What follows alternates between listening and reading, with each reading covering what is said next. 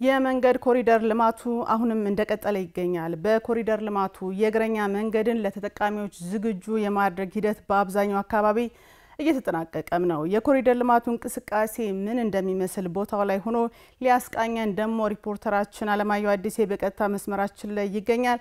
አለማየሁ እንዴት ዋልክ? አንተ ባለህበት ስፍራ የኮሪደር ልማት ሂደቱ ምን ይመስላል? እባክህ መረጃ ድርሰን።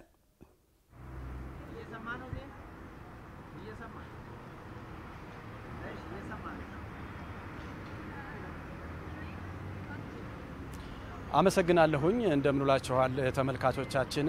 እኔ አሁን የምገኝበት ስፍራ ሜክሲኮ አካባቢ ነው የምገኘው። ቀደም ብዬ ወጥቼ ከሳር ቤት ሜክሲኮ ያለውን የመንገድ ኮሪደር ልማት እየቃኘሁ ነበረ።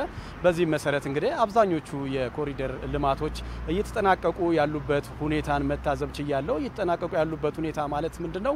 የእግረኛ መንገዶች የማንጠፍ ድንጋይ ማንጠፍ ስራ እየተከናወነ ነው የሚገኘው። በብዛት ሁሉም ቦታዎች ላይ ይሄው ስራ ነው እየተከናወነ የሚገኘው።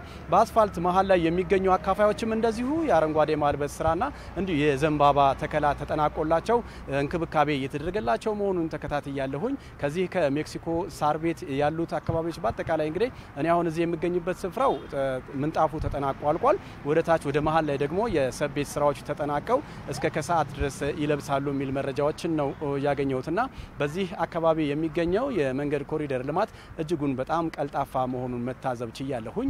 የስራ ኃላፊዎቹ እንዲሁም ደግሞ ፎርማኖች፣ ተቆጣጣሪዎችን ለማናገር ሞክሬያለሁኝ የነገሩኝ ምንድነው እዚህ አካባቢ ያለው ስራ በጣም እየተቀላጠፈ ጠዋት፣ ቀን፣ ማታ እንዲሁም ሌሊት ጭምር እየተሰራ መሆኑ እዚህ ሊደርስ ችሏል። እንግዲህ ስራው በተለይ እዚህ አካባቢ የሚገኘው የመጠራረግ የማጸዳዳት ስራ ብቻ እስከሚቀረው ድረስ ሁሉም ነገር እንደተጠናቀቀ መታዘብ ችያለሁ ማለት ነው።